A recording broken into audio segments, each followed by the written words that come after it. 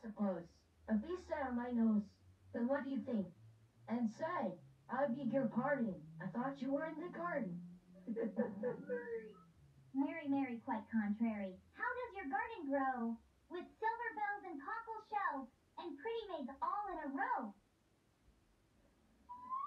Roses are violets are blue. Take time to smell the roses. Ah, ah,